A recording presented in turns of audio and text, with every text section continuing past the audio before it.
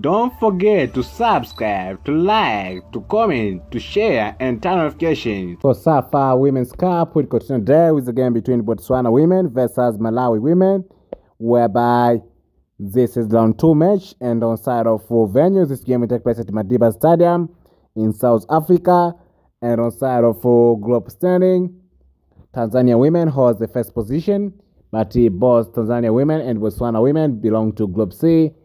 And Tanzania women has three pointy, one match played, one win, zero draw, zero loss, C goal. And Botswana women holds the third position, one pointy, one match played, zero win, one draw, zero loss, one goal. While on side of uh, head-to-head matches, on side of uh, head-to-head matches, there's only formation for one head-to-head match, whereby in that game, Tanzania women won by two goal against zero, and it was during 2021, and that game was COSAFA Women's Cup match.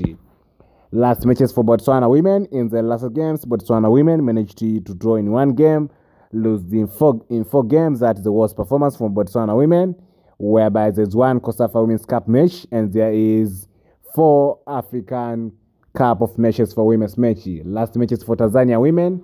In the last games, Tanzania women managed to win in two games, lose in two games, and there's one draw. That the modern performance from Tanzania women, whereby there is four Sekafa Women's Cup match and there is one Kosafa Women's Cup match. Women Cup match. That is all. Thank you. Have a good day. Don't forget notification for more upcoming news daily.